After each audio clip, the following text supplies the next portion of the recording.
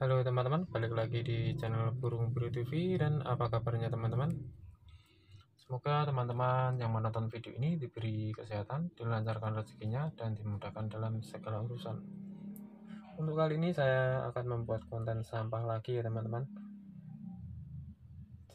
Apakah konten seperti ini bisa rame view-nya atau tidak? Nanti dilihat di tiga hari ke depan dan bagi teman-teman yang membutuhkan kunci untuk membuka sebuah video, teman-teman jangan skip videonya agar tahu kuncinya di mana.